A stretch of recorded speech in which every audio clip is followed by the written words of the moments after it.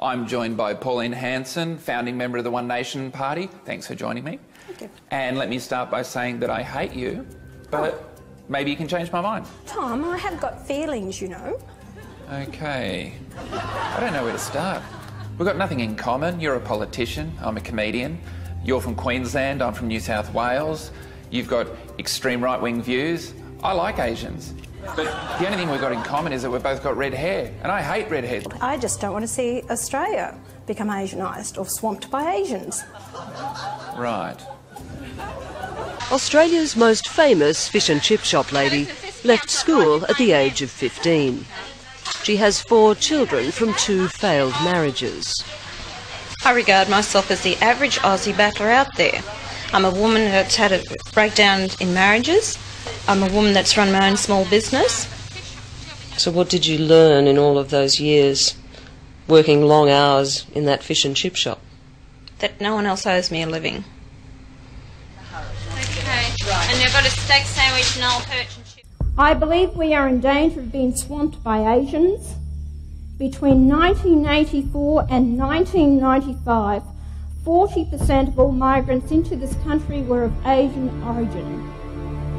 They have their own culture and religion, form ghettos, and do not assimilate. And as I have said, that we have got 40% between 1984 to 1995 so far, 40% of migrants into this country are Asians. Well, let's look at some actual numbers then. There are 866,224 Asian born Australians out of a population of over 18 million. Is that in, in danger of being swamped? I don't believe those figures. Well, these are from the Department of That's Immigration. their, as far as I'm concerned, they're book figures. I don't believe those figures. Are you xenophobic? Please explain. Xenophobia means a fear of all things foreign. No, I don't think I am. I'm not. Is there is it a problem? Just because I might be. I find this very hard because I have to sort of clarify all my what I think and how I feel about things. Isn't it? Precisely. Yeah, Yeah. Well, precisely because you are a federal politician. You're not just sitting. We're not just sitting around in a pub talking about things. You're a federal politician. You're standing up in federal parliament making these statements. So of course you should be expected and to which, be able to which be able to majority of mainstream Australians are backing me on this issue because they believe in what I'm saying also. They can see it also. But it's all these minority lobby groups who don't like the fact of what I'm saying is because it's going to upset their little world. And I, they've got a problem with it, not I. All I know is what comes from here inside. And by talking to the people out there in mainstream Australia and their fears also. So it's from the heart, not from the head. I'm, I've been learning once I've got it since I've been in this job.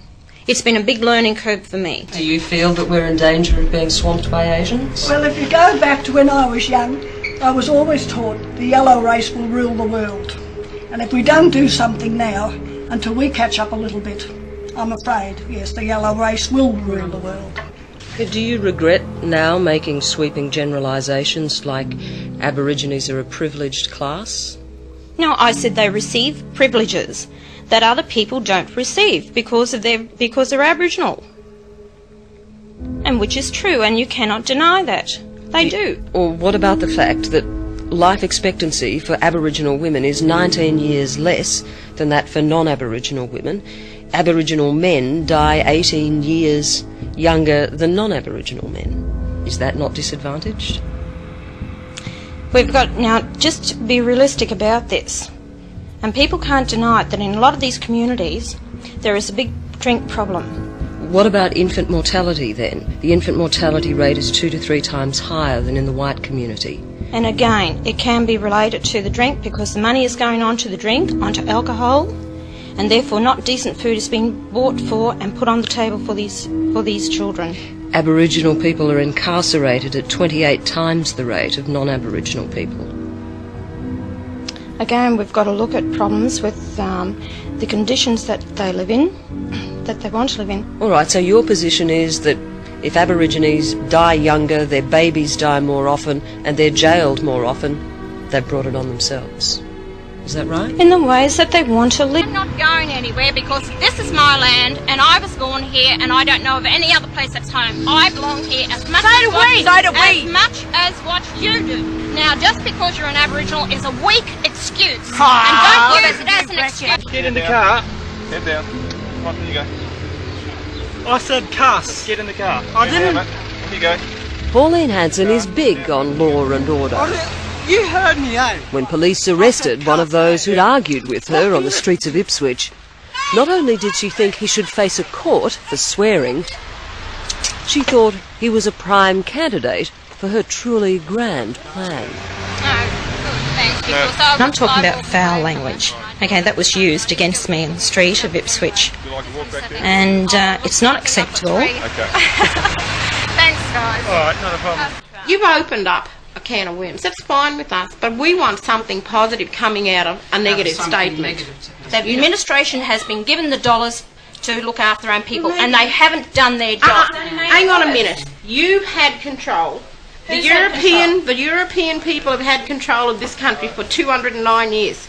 You've made a mess of it in 209 years, and you expect ATSIC to clean it up in six? No, wait a minute. There is actually agreement around this table that ATSIC has wasted money. But cutting off funding altogether, these women see as simply naive. You are a very young person. Now, you quoted your age as 42. That is still very young. Not so much in age I'm talking about years, but in knowledge. What I would like to see you do, Pauline, is to be educated. Aboriginal people. Now you're kicking the Muslims around. You're just a racist redneck with your red hair. Go, go away. Go back to Ipswich and your fish and chip shop. Disgraceful. You're a woman lacking uh, moral fibre. You are intellectually dishonest and you're not welcome here. Go,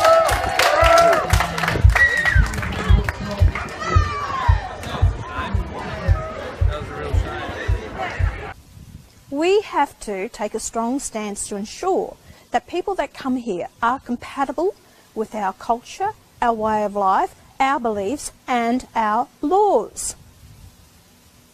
So, what I'm saying is pressure the government to say no more Muslims in Australia, no more Muslim refugees in Australia. Take a strong stance, protect our security, our safety on our streets, and our people. We are a Christian country, and I don't believe that Islam is compatible with our culture and our way of life. And that's why we have problems in Australia on the streets. And a lot of people are opposing the mosques that are built here. Um, I, I have a bone to pick with Pauline in regards to your statement that we're a Christian nation. Actually, I think we're a multi faith nation. Um, indeed, we're a nation of people who sometimes don't have a religion. Um, I think we are a broad spectrum. We are diverse. That is our strength. That has been our strength um, ever since our formation. Uh, clearly, we have some serious reconciliation and reparation to do with the first Australians, um, but we are strong in our diversity. Um, thank you. A truly multicultural country can never be strong or united, and the world is full of failed and tragic examples, ranging from Ireland to Bosnia to Africa and closer to home, Papua New Guinea. America and Great Britain are currently paying the price. Japan, India, Burma, Ceylon, and every new African nation are fiercely anti white and anti one another. Do we want or need any of these people here? I am one red blooded Australian who says no and who speaks for 90% of Australians. I should have the right to have a say in who comes into my country. Now, I understand Islam does not believe in democracy, freedom of speech, freedom of assembly, or freedom of the press. You have Hizb ut-Tahrir that preaches the fact that they will um, want total control of the people Pauline, can I just That's- interrupt you there? I mean, can you make such a blanket statement? Islam doesn't believe in democracy uh, when north of Australia is the biggest democracy in our region and it's Islamic. No, look, I don't. I don't believe that. I don't believe that because you've got a lot of countries around the world. They they have a political ideology that want to control the people. Now, I want to see a separation of, of the You two. don't think this that's is true? what I'm you saying. don't think that's true of What- Indonesia, though, do you? What I think they control the people and their beliefs. I really do. In, in answer to your question, uh, I think that the key to this is that you, uh, you marginalise the extremists and the preachers of hate, uh, not an entire community. And in terms of the broader issue about uh, Islam, the world's biggest uh, Islamic nation happens to be Indonesia, our, our neighbour to the near north, uh, where they have had stunning success in becoming a democratic country in the region. And I think we should all be very proud of that. And it's an example of an uh, predominantly Muslim, uh, where they've done tremendous things in terms of being a strong democracy with a strong free press. We have terrorism on the streets that we've never had before. We've had murders com- committed under the name of Islam, as we have the Lindt Cafe, Curtis Cheng, and the two police officers in, in um, Melbourne. All right, so this has happened. You have Can I just say, I'm sure, the, Pauline, I'm sure the fact checkers will be onto this, but when you say we've never had terrorism in this country before, that's simply not, Not the to- case. The 1970s, there were multiple bombings by Croatian Catholic extremists. Um, this has happened Right. in Australia before. It's not the first time. We should at least get that straight. All right, I accept that. I'd just like to say that um, you're in a position now where you can make a change. I think you should use that position positively instead of driving this fear amongst the community. Why don't you look at domestic violence? Why don't you look at education? Why don't you look at health? You're in a position that many Australian women would envy, that envy you and would like to be in that same position. why are you? because why I are you pushing this f- agenda and, and, and pushing fear into our community and making people like myself and my friend here worried to come into the studio because of protesters outside? The protesters were nothing to do with me. The protesters were there I support you, against me. Pauline. You know, Miss Hanson here is not an amateur. She's not inexperienced. Miss Hanson, you've been in politics now for 20 years, and you know exactly what you're doing and the language used and the power of your language. You know, 20 years ago, it started off with blaming Indigenous Australians. Then it became about we're being swamped by Asians. Now it's about blaming the Muslim and the Muslim community. It is the politics of pitting one section of our community against another section of our community, about simplifying complex problems and placing the blame on one group at one point in time. It's the politics of fear and division, and Miss Hanson, you're incredibly good at it. It's Miss not actually Hanson, I'm saying you play the politics of fear and hate because it serves your Because political I- interests, and you've been doing it for the past 20 years, and you're very good at it. Muslims have been a part of Australia for a long, long time, many, many years. When you go back to the gold rush days and they were in here in Australia. But it's only in the last, what, 10, 20 years that we have seen a rise of terrorism on the streets. You've got to ask yourself the question why? Why is it Because happening? we invaded their countries, Pauline. It's not about invading Because we went countries to war so with that's their rubbish. nations so and that, killed so that, their people. So that's So, the Miss reason Hanson, why a five-year-old should- Sam so they Dastyari can't come to this country now, but I could have come 28 years ago. Sam, we have problems now. That, that, to take it back there, that's absolutely ridiculous what you're talking about. All right? That We're is talking about- exactly what we're talking it about. It's in your policy document. about. It's black and white It's in your policy no, document. Sam, you're talking about something that's ridiculous back when? How long ago? How I old came are to this country 28 years ago. That's 28 years ago. We're talking about now, what is happening now and the day, today in the world with the terrorist attacks. So and today I couldn't come to this All country. right, sorry, 28 I, years ago. am going to put you. Well, you've now seen the impact of your calls to halt Asian immigration. Have you figured that perhaps life is just a little more complicated than rolling down the shutters? As what? What do you mean rolling down the shutters? As far as what? Closing the front gate, drawing the blinds, cutting Australia off from the rest of the world? Do I propose that? It would appear cutting, so. Cutting Australia off from the rest of the world. It would appear so. I think I'm more concerned about it, um, Australia and the people here. You see, I'm, I'm trying to say, let's clean up our own backyard and look after our own here before we worry about everyone else and Let's- overseas. let's- They're not concerned about us. Let's get that straight.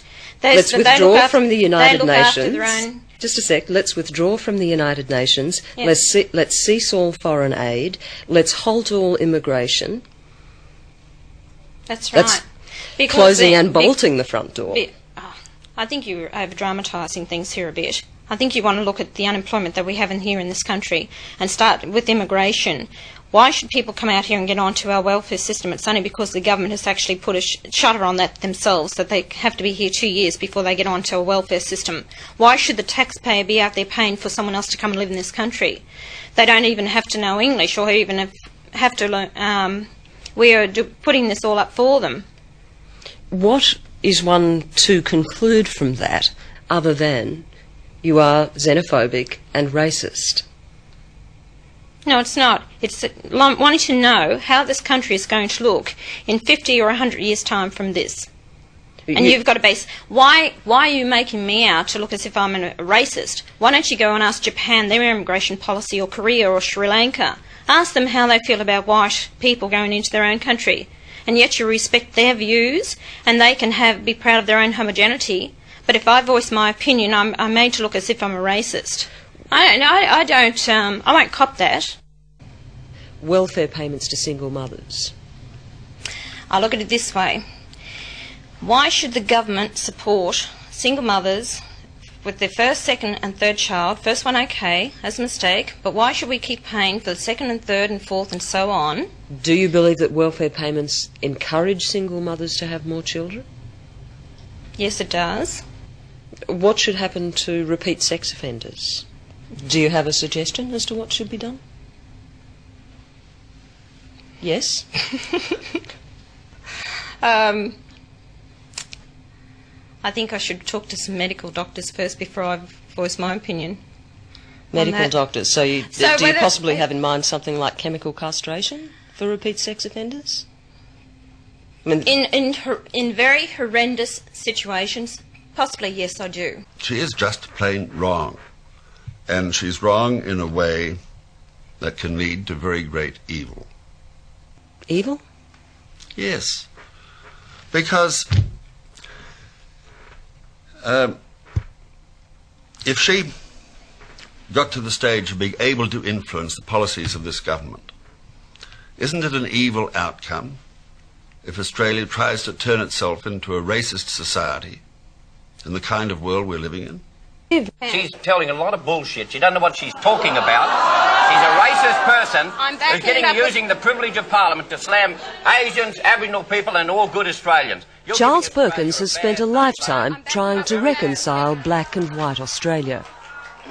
Then along came Pauline Hanson. Now, in the fish and chip shop, you're very good there, but not out in the public. And on the midday show last month, Perkins' frustration spilled over. Just not enough. And I don't invite her Look at the facts, to come out to some of the settlements and reserves and have a look. Well, Is there room enough in your heart to be caring and tolerant and sensitive? Don't say, is there room enough in my heart? Yes, I am.